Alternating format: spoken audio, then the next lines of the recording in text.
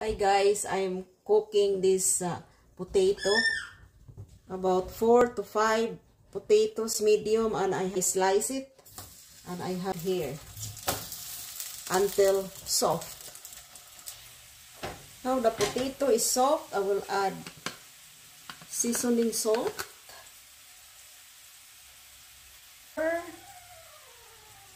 And a half a teaspoon paprika.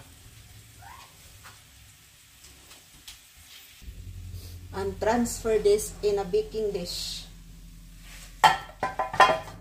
And brown this brown beef. Now the meat is brown. I will add chopped onions about medium onion chop. Salt about 1 teaspoon and a ground pepper about half a teaspoon.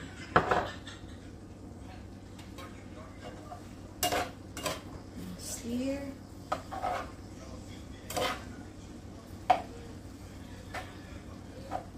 Add oregano about half a teaspoon. This is dry. And then the garlic, about 3 cloves of garlic.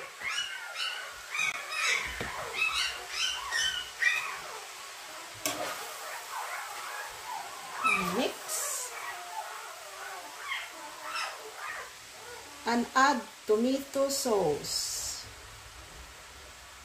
This is 14 ounce 398 ml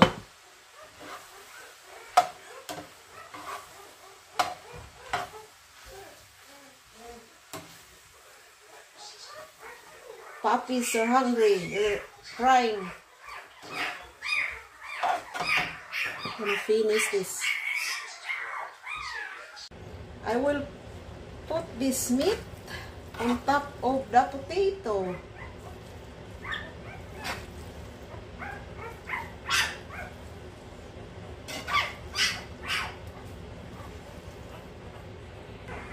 The last ingredients I'm gonna add is the cheese, Havarti cheese.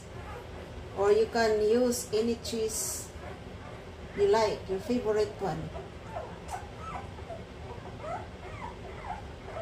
And I will bake this for 15 minutes, 350 degrees.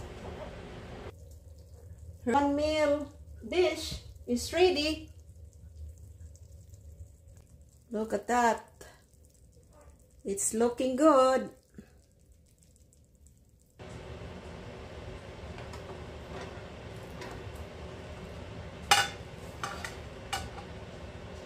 Look at this.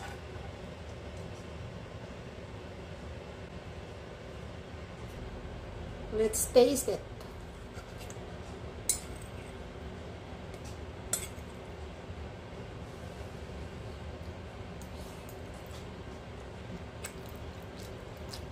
Mmm. It's so good. Mmm.